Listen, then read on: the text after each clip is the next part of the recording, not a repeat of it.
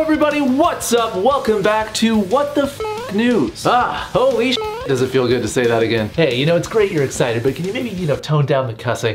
no. Okay. God, it honestly feels so weird to be in front of this white sheet again. How I've missed you, white sheet. Like, I'm nervous I'll just completely forget how to do this. Like, Is this right? Help! like what if I pull a Ricky Bobby and just forget what to do with my hands? Hey, what's up guys? Uh, welcome back to What the F News. Uh, today we're even worse, what if I pull a Gordon Ramsay and talk too much with my hands? Here are today's top stories. A nun brought a crossbow into a nursery. Sorry, I'm clearly overthinking, which is one of the things I do best, actually. I rehearse what I'm gonna say to a grocery store employee before I get to the front of a line. Hey, did you find everything you're looking for? I'm great, how are you? Nope, that's not right. But seriously, guys, I am beyond excited to be back making the show once again. I know I've been uploading a lot of other videos recently, but I'll always have a special place in my heart when it comes to the show, as a lot of you guys hopefully do as well. Plus, with all the just negative, awful news we'll inevitably have to talk about on this show, just filled with misery beyond your wildest comprehension. It's important to highlight the positive things in life, you know? And What the Fuck News coming back, to me, is one of those things. So let's hear it for the return of What the Fuck News. Yeah! Woo! Yeah! All right! You're still demonetized. Ah, you really couldn't let me be happy for one second, could you?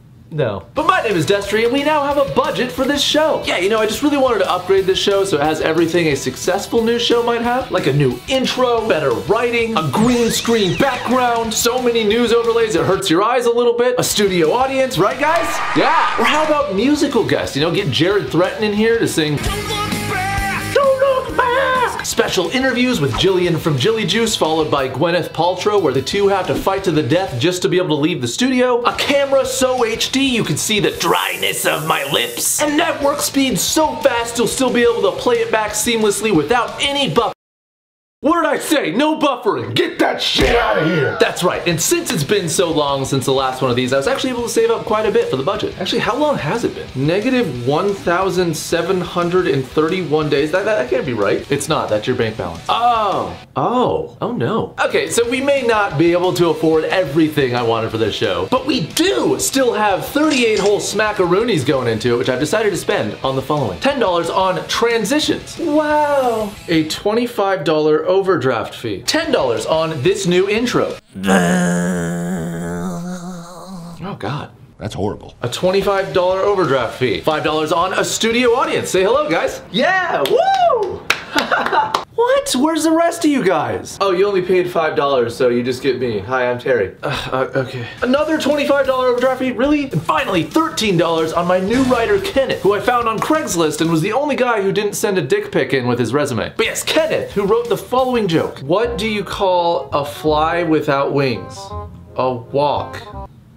Seriously, that's the worst fucking joke. oh, how funny. A walk. Oh, you know what's extra great about that joke is that it's clean and friendly for the whole family.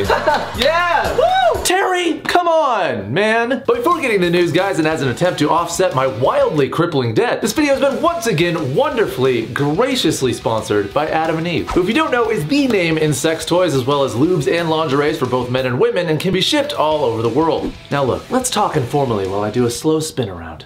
Hey, everyone's got urges. I feel like I'm talking to my teenage son. Listen up, champ. Everyone's got urges. So no matter what you're into, you can bet that Adam and Eve has something that tickles your fancy or any other place that you want to be tickled in, I guess. And while normally I would show you some cool product that they sent to demonstrate that fact, I think they realized that I have an entire chest of sex toys and they were just like, yeah, no, no, no more. But they got things that vibrate. They got things that twist. They got things that jump. They got things that can do backflips. I, I can't do backflips. And that's why no one likes you. But no matter what it is, Adam and Eve's unbeatable quality and customer service ensures that you get exactly what you want guaranteed. So whether it's for you, your partner, your friend, or you but just on the other side of the camera. Wow, Destery, that feels so good. You clearly know what you're doing. So what are you waiting for? Check out all that they have over at adamandeve.com and when you love it, make sure to use code SMITH at checkout for 50% off one item and free shipping in the US and Canada. And to start the news off today, guys, we did it. After three long years, we have effectively beat COVID-19. Woo! Thanks, Terry. Wow, guys, I knew that we could work together as a society and find a way I'm just kidding. Ah, I couldn't even finish that sentence. But yes, COVID still very much a thing as we now round year three of this pandemic with seemingly no end in sight. But I mean, if we were to compare to the numbers last year, surely they can't be worse, right? They are worse. And don't call me Shirley. Speaking strictly from a numbers standpoint, the COVID-19 virus had its worst day on January 19th this year, where an estimated 4,247,000 new cases were reported in a single day, which to put into perspective is seven times worse than it was a year ago at 589,000. I remember saying in a What the Fuck News video in 2020, don't give us the DLC of COVID-19 COVID-20 Deluxe Edition. Turns out we not only got the DLC for COVID-19, we got COVID-22 Ultimate, the definitive edition, remastered in HD. And you know, obviously a huge part of that is the new variants of the disease making it more transmissible than ever, but I just gotta ask, who the fuck is out here naming these things, man? We got the Delta Sky Miles variant, and also the Omicron variant. What the fuck is that? Sounds like a fucking transformer. Like, I wanna be the guy that just names disease variants. Could that just be my job? Watch out, the next COVID variant, the Booba variant, the Mommy Milker variant. Oh, no, no, no, no, no. I got it. We call it the Democrat variant. You know, that way all the Republicans are just like, oh, oh my God, I cannot get the Democrat variant. Please God, I will wear a mask, I will get vaccinated, I just do not want the Democrat variant no matter what. Or just like call it the stinky wiener variant. Ha ha, you got the stinky wiener variant. My wiener isn't stinky, that's just the name of the disease. Yeah, okay, buddy. Son of bitch. I don't know if you're looking to hire over there, CDC, but I could go on all day. So yes, much to the chagrin of me in 2020, we did not in fact hashtag fist the coronavirus. If anything, it fisted us. And that just sucks, as I didn't imagine my first time being fisted to be from a deadly virus. Wait, you've imagined being fisted? Well, Billy from Stranger Things exists, right? Does that answer your question? So yeah, needless to say, COVID is not going anywhere anytime soon. And honestly, it's at the point now where it feels like at least someone you know has gotten it. Because I remember in the beginning of this, like it kind of felt rare for someone to have it, you know? But now, yeah. Like my girlfriend had COVID and I was so afraid that I was gonna get it that I banished her to the garage and fed her under the door.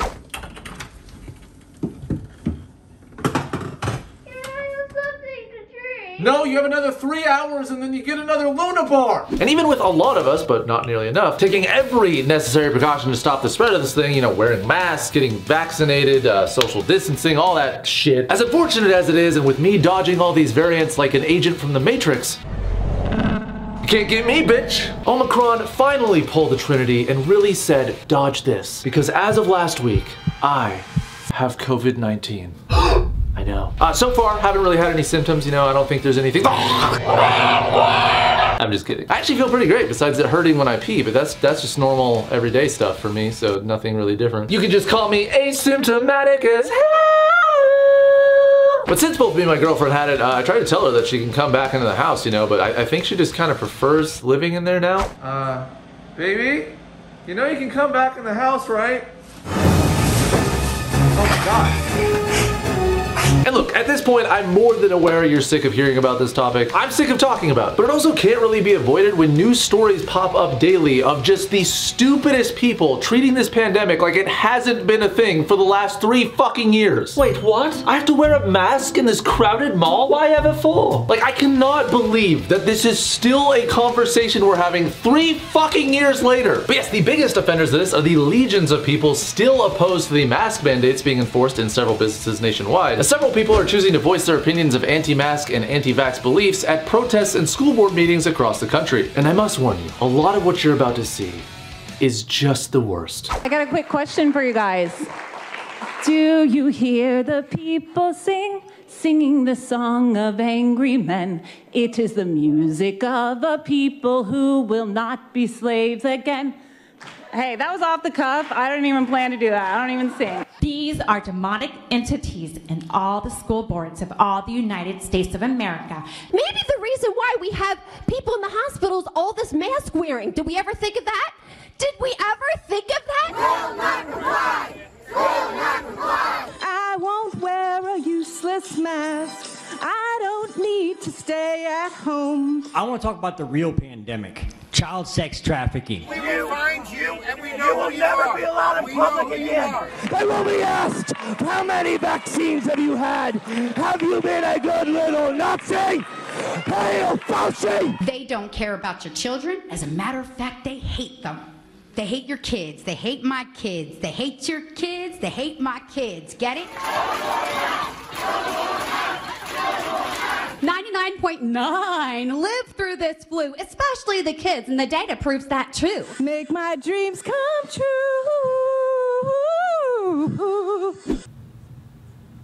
What the fuck did I just watch? If I didn't know any better, I would have thought those videos were clips from a Parks and Rec episode. If sugar is so bad, how come Jesus made it taste so good? But isn't all food bad for you? I've been eating lasagna and muffins every day of my life for 40 years and I feel terrible. God, I don't know how these people just sit up here and take it. Like, I'm watching this and my anxiety is through the roof. In times like these, I like to try to remind myself that at least I'm not like my man Chef Gusteau from Ratatouille. Gusteau be like, gets criticized once, fucking dies. And there's honestly so many of these that playing all of them would take hours, but probably my favorite is the lady that says, And let me tell you something. Go home tonight and take one of these spoons and put it on your vaccination spot. Guess what? It's gonna stick to you. What? You're telling me that if you're vaccinated, you have magnetic powers? And I'm just now finding this out now? Hold on. Oh my god, she's right. but seriously, what the fuck is she talking about? And you know, while some of you guys might argue that a lot of those clips happened last year, in recent news, a woman was shown on video threatening a school board by claiming that she was going to bring an entire arsenal of loaded guns if they didn't change the mask policy. My children will not come to school on Monday with a mask on. That's not happening. And I will bring every single gun loaded and ready to, I, I will call every. That's three minutes. Jesus, lady! All this because your child has to wear the thinnest piece of fabric over their mouth and nose? Like, what fucking masks are people putting on that they feel this passionate to speak out against them? You need to change your policy immediately because every time I put on this mask, I spin around the room uncontrollably and then I stop and say, smoking! You know, I gotta be completely frank here. I am not a fan of this mask policy because one time, one of these masks jumped up on my face and I went completely catatonic and I woke up several hours later and an alien burst out of my chest. And I won't lie, it hurt pretty friggin' bad. Sir, that is not a mask. Where did you get that thing? Like, I'm beginning to think there's something medically wrong with these people because they act like the second they put on a mask, it's gonna be like, man, would you please put on your mask? I guess.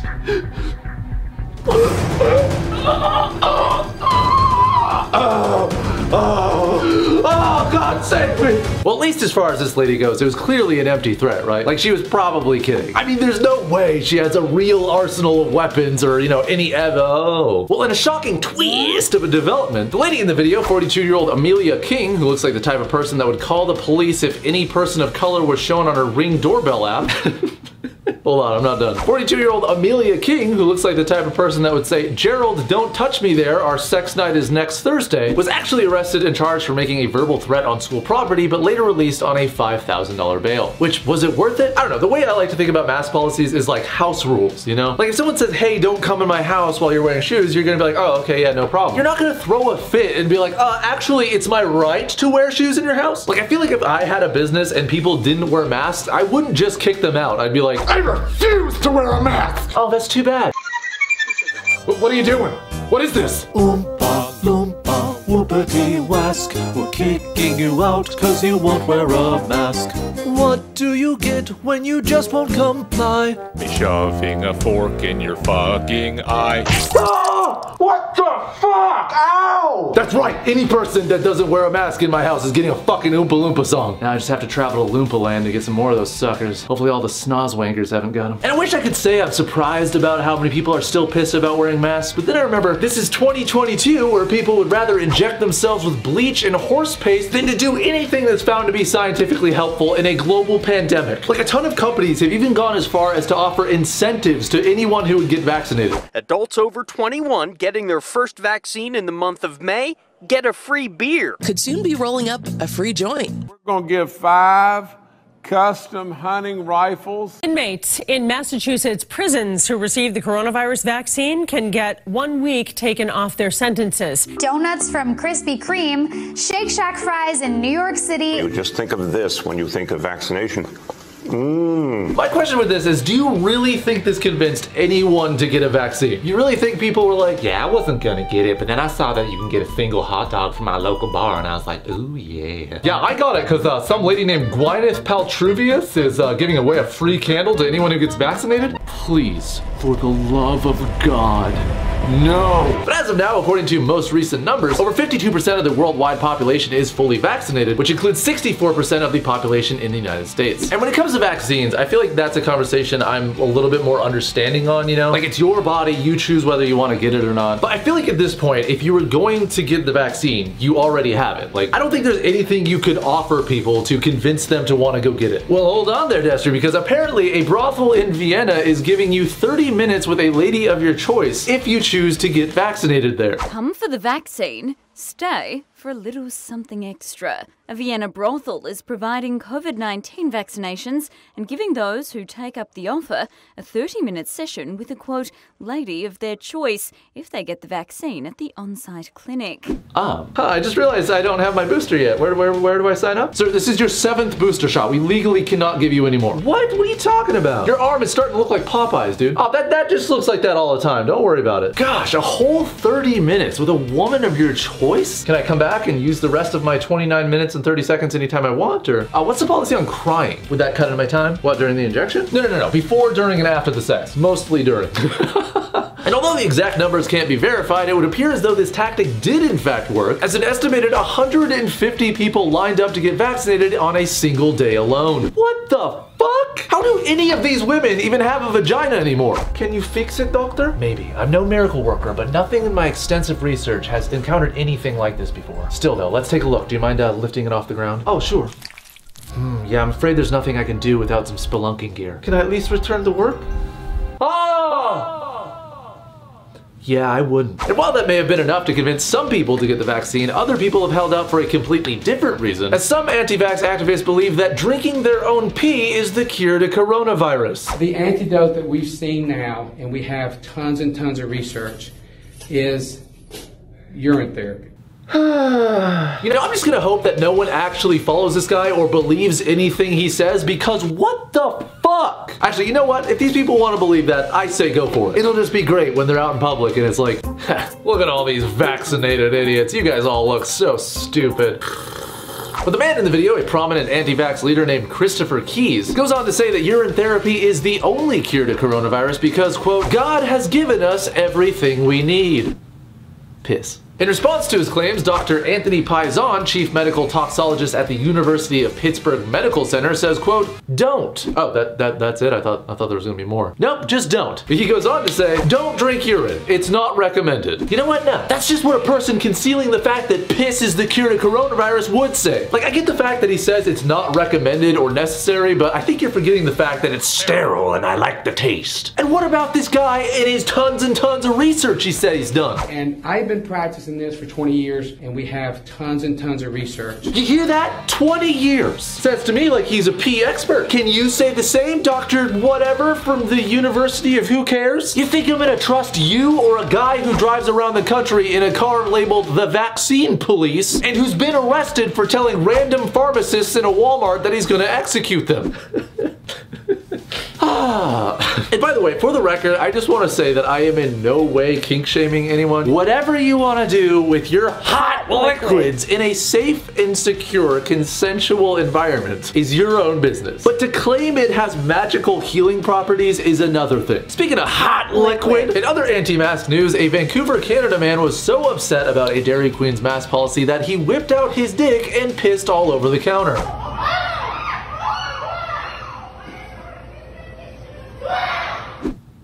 Seems like an adequate reaction. And you may be looking at this thinking that this is the antics of an immature little man baby. But knowing what we know now about urine being the cure to coronavirus, it's clear that this man was just trying to cure everyone in the Dairy Queen. and with all these news stories and videos, I haven't even come close to showing all of them. I mean, there's at least 20 videos I could show you of people getting kicked off or dragged off of planes because they aren't wearing a mask, including this guy who wore a pair of women's underwear over his face rather than wearing a mask. Or how about the guy that literally snarled at people when asked to put on a mask?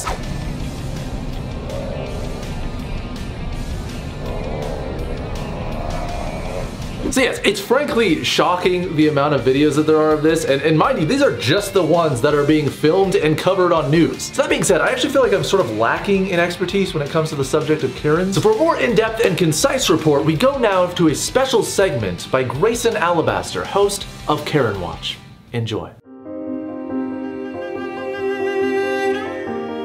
Many years I've been tracking the behavior and science of the creatures known as Karens, nothing could have prepared me for the ravenous stampede of aggressive new Karens multiplying across the country at an alarming rate. Behavior which drove me, a once prominent expert in this field, to solitude. As for many months now, I have lived alone on an island far removed from the typical places a Karen might frequent. I've survived on this island off of rainwater and hunting and killing rats. Though the taste pales in comparison to my usual diet of Cinnabon, I've admittedly grown accustomed to this succulent rat flesh. The only friends that I've made here other than the shadow puppets to which I've grown quite fond of.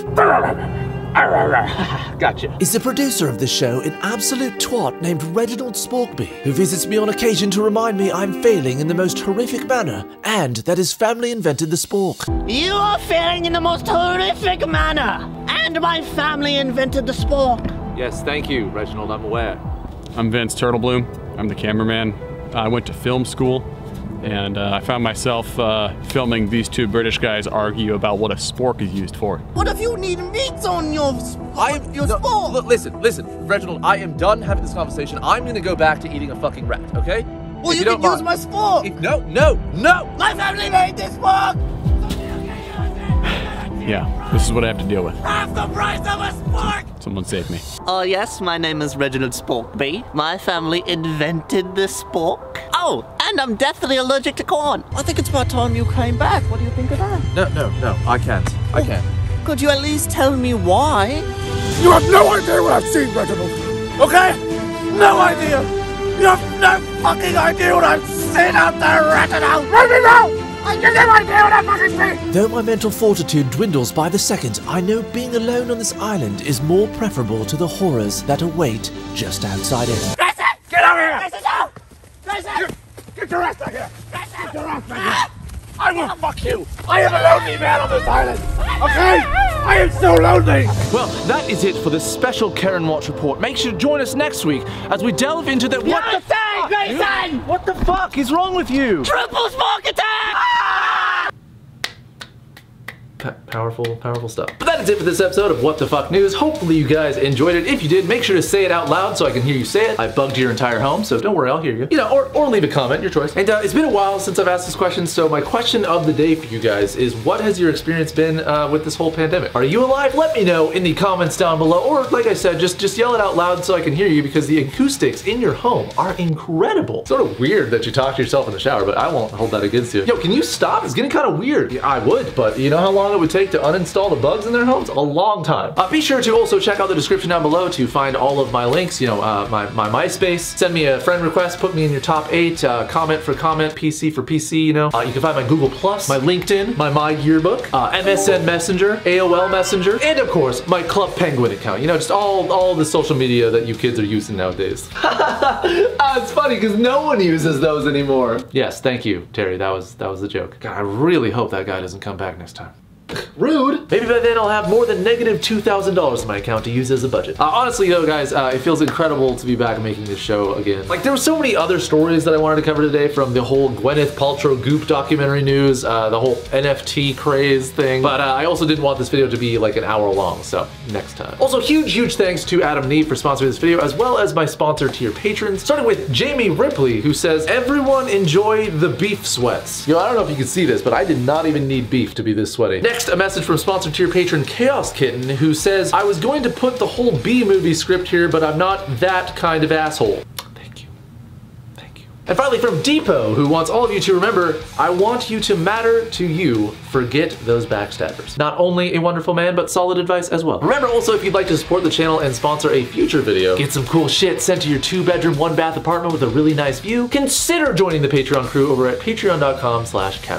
But that's it guys, I will see you next time for another What the Fuck News. Thank you guys so much for watching, viewing, supporting this channel, all that good shit. I love you all, and fair winds.